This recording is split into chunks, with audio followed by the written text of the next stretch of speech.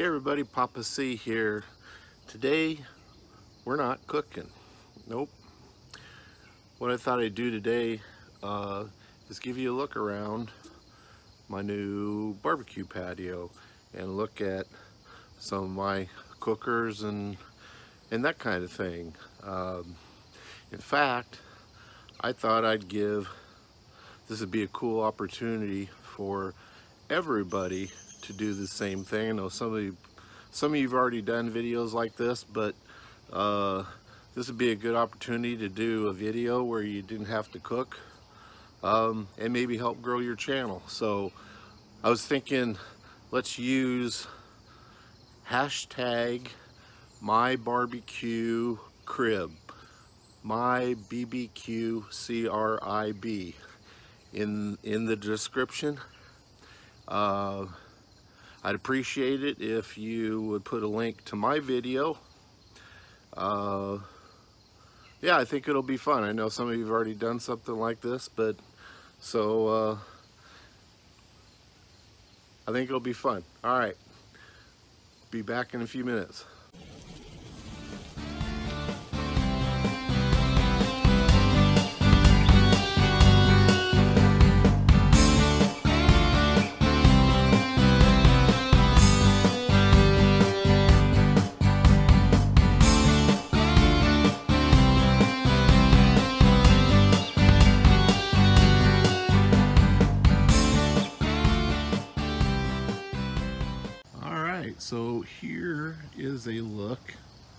At the very end. And here's the fire pit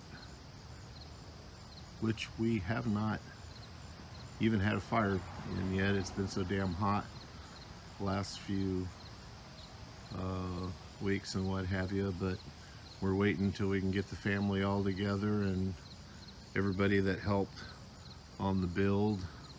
So but this is looking down towards you know the cooking equipment and what have you. Swing over here. That's kind of how I transitioned it to the deck with the stepping stones onto the deck and everything which the deck was last year's project all this my son his wife, my daughter, and her boyfriend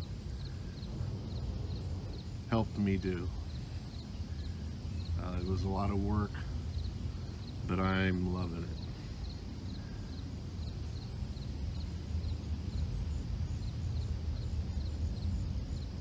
Alright, so here's another view of the fire pit. Um, the fire pit actually, I have plans on using it to cook on too. I plan on doing some actual wood-fired stuff in here, some um, Dutch oven cooking, and that kind of thing. So this is actually, for me, going to be a cooker as well. So that probably won't happen till next year, but we'll see. Uh, I wouldn't mind even getting some kind of a rotisserie set up for in here. I think that'd be cool. But anyway, I do have plans for that as well. So moving on over. Right now, this is just a little um, patio table that we had. I'm contemplating um, getting rid of this and building a bar, kind of like a bar high top kind of deal here where I could do some beer tastings and some food tastings after a cook, that kind of thing. So yeah, I think that'd be kind of cool. And I love, I like, I'm a woodworker, so I like doing those kind of projects as well. So, all right, so let's take a look at some of the cookers. All right, guys, so here's a look at my pellet cooker. This is my Pit Boss 440D. Um, it's a small pellet cooker. Uh, this is this was a Christmas present three years ago from my kids. So um, I was in need of replacing a gas grill and this is what I got. I was actually at a point where I had a, a smoker and two old Webers that were rusted out and was in need of new stuff. So kind of one of the how this channel got born is because I got all this new stuff. But uh, anyway, here's my pit boss. It's a it's a pretty small um, grill. There's not a lot of surface space in there. I mean, I can do two racks of ribs in there. Not much more than that. Um, you know, a brisket and that kind of thing. It works really, really well though. Um, doesn't have any of the problems that I've read about some pit bosses uh, with the controller. It's I've been using this for three years and it hasn't skipped a beat at all. Um, the only thing I've really done to it, a modification is I put a port, drill a hole and put a port so I could run my temp probes through there and that's about it. Mean, nothing else really to do. So I use this, I've, you see me use this on a couple of my videos, so uh, I like it. Don't you just love that smell when you open up one of your cookers and has that smell of past cooks? Mm. All right. All right, guys, on to my Blackstone. Here is my 22 inch Blackstone. If you remember the cabinet that I did a video on when I bought this cabinet, um, at the time I had legs or wheels on it. I've taken the wheels off. Um, but it absolutely works perfect to sit the Blackstone on and have a cabinet to hold all my Blackstone cooking supplies. And just this last weekend, I had ordered and got the cover for it, the uh, top here. That's pretty slick.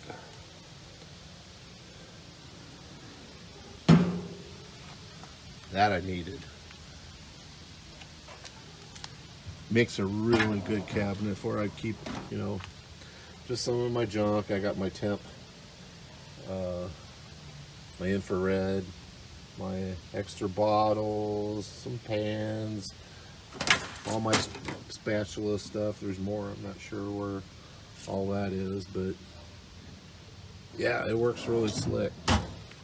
Down below, more supplies. Uh, got my covers for cooking there with some extra gas bottles. I do am using the little one pound containers right now. I haven't got it. I'm gonna get a uh, a little pancake, the five gallon um, propane holder that'll sit in on this shelf. So I am gonna convert that. But yeah, it works. And it, worked really slick. I'm really enjoying this and do look for coming soon. I've already got the intro done, but I'm doing a series that's just the Blackstone only. Um, it's going to be kind of a fun thing. So look for a premiere within the next month surrounding cooks with the Blackstone. So yeah, I gotta have a Blackstone, right? All right, guys, on to the next one. Guys, so next up is the Char-Broil Big Easy Smoker Roaster Grill. I love this thing. Um,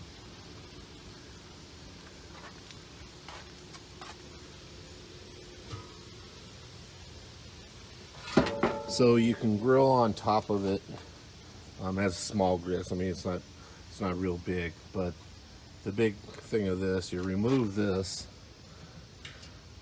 You can see down inside there, it's got the basket. Um, that, you know, you can do so much with it. It's you can, uh, you know, put chickens in it. Uh, oh my god, I've cooked I don't know how many different things. I cook a lot of turkey and chicken in there. It's just to me works awesome for that. Wings. Um, it's got hanging system within the basket. You can put two whole chickens in that thing. You can put a turkey. Uh, and then here on the side,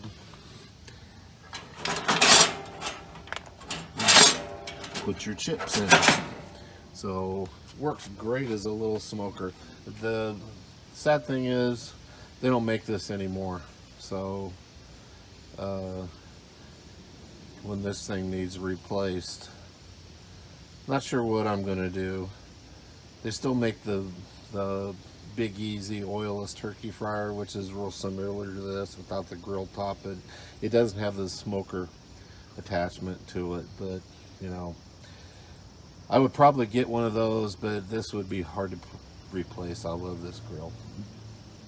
But uh, yeah, we use this a lot. This is this is this is the a lot of quick uh, chops and that kind of thing for dinner and put in a little handful of chips and push just the right amount of smoke on it. Love it. Absolutely love it. Alright guys, so the next one up is my Weber kettle. Um, I got this uh, just a couple months ago actually. I had a uh, old uh, an old kettle. I think it might have even been an 18 inch. I think it was actually. And then and then I had a Jumbo Joe as well. And I used those for I had those for like 10 years and and uh, they pretty much just rusted out and I didn't have a covers for them or anything and but uh, yeah I missed having the the Weber though so this is the premium kettle uh, got a good deal on it at Ace Hardware. I have added the cool touch handle here to the uh, top vent and uh, haven't done much really with it. I did put a little bit of slot here for my wires. I kind of did the same thing that if you've ever seen cooking with Ry's video um, that he did um, yeah I've been I think I've used this on a couple there'll be a lot more cooks with this. Um, I just got the barbecue dragon stone um, for it. I love that. I got the, uh, I've received the, uh, the adrenaline um, barbecues grate. Um, the spin grate, I think is what they call it. So, and one other uh, thing, uh, new accessory. Oh, I got a Vortex. So, look forward to seeing some videos using the vortex but yeah love love my kettle really missed having one and then right next door to it I'm not gonna take the cover off y'all y'all know what the uh, what the old pit barrel looks like. Um, it's the full-size pit barrel. Uh, love it. Use it a, a lot. Um, actually this weekend I used uh, I, I cooked with um, lump in it for the first time. Absolutely love it with lump. I don't know if I'll use anything other than lump in that thing uh, from here on out. I really like the flavor that it puts on the way it cooks. Um, cool cooker cool cooker the whole system. Uh, I don't hang stuff as much as some people do. Um, I just kind of like laying stuff on the grate but uh, I don't do I, I, suppose if I did um, it's just me and my wife so I do a chicken I don't do like three or four chickens at one time I don't do three or four racks of ribs so um, but I'm sure there'll be some times when I've that I'll do some more when the kids are over and we're doing a uh, you know a whole day uh, fun day out here on the patio. So anyway, that's the Weber kettle and the pit barrel. Alright guys, so up next is not a cooker, but this is actually um, you know, one of my work center that I created here. Um, if you remember, I had bought the cabinet for the for the Blackstone. I went back and I got two more of those cabinets. It was a fantastic deal on the cabinets. They were like $149 cabinets and a piece, and I got them for like $49 each. And they absolutely made a fantastic cabinet for, for this purpose. And what I did is, is I just build, put them together, leveled them up, and build a countertop um, out of some pine scrap uh, that rests on the top and then I just got some dollar uh, ceramic tiles and put them on the top and it absolutely works fantastic. I could use several times. You probably have already seen it in one or two videos that I've done. Um, uh, yeah, and I, then I just stained it and, and finished it. I do have a big, um, basically it's a grill cover that covers it all so that it doesn't get soaking wet and everything and, and protects it from the rust and everything, but just got a ton of storage in it. Um, I just got a little bit of everything in here that I need. Um, grill supplies down below.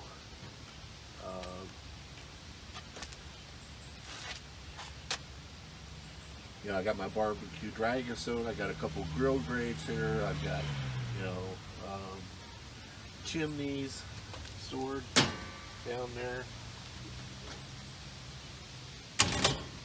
Yeah, really worked out great. pans and stuff. I have a uh, I have an induction burner top that I can use on top of here. I have a butane burner top so I can have a couple skillets going out here and doing prep work. It really works out nice. Um, I'm digging it.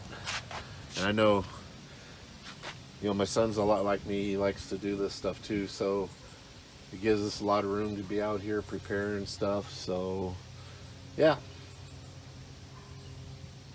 it's uh, you know it's really going to be kind of a hub of the whole setup here so anyway there's a look at that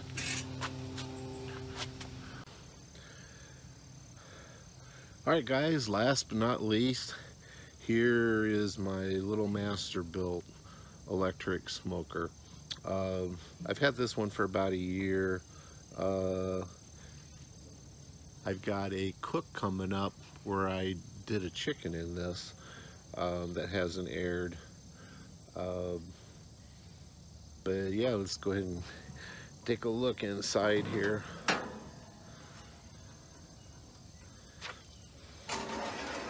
Got the water trough, the, the little chip tray. It is kind of a drag having to, uh, chips last for about 45 minutes.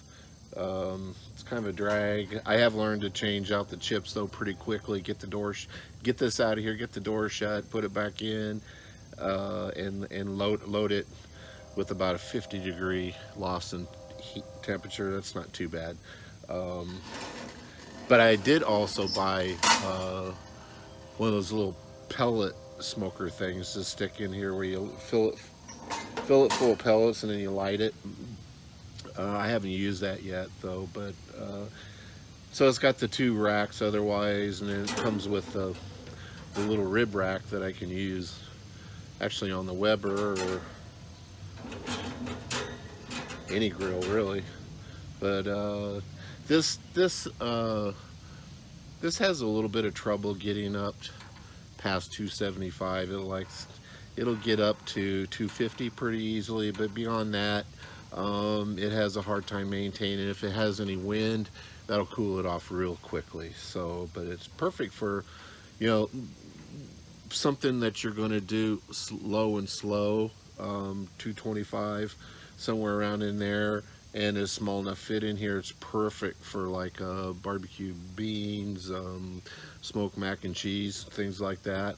Uh, a tray of say burn ends stuff like that.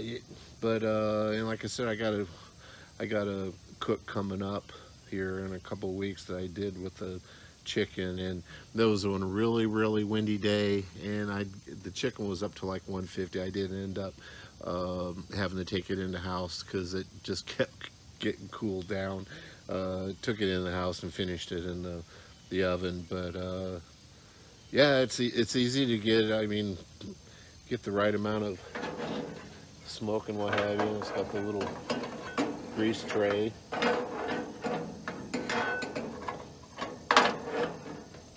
So yeah, I did end up um, replacing this because I bent the other one, but this is spot on. Uh, when I put my ThermoPro in here, it goes toe to toe with it. So yeah, it's a neat little cooker. Um, I've had it for about a year. I haven't used it a ton, but I've got plans for it and, and everything. So that's pretty much it. We'll be back with some closing thoughts here in a minute. Say everybody, anyway, I hope you enjoyed a little look-see at what what I've done here. Uh, I'm having fun with it. And uh, remember, hashtag mybbq crib. And if you would when you and put that in the description of your video and if you would put a link to my video I'd appreciate it I think it'll be fun. Thanks guys for watching. I appreciate all my subscribers. We'll see you on the next one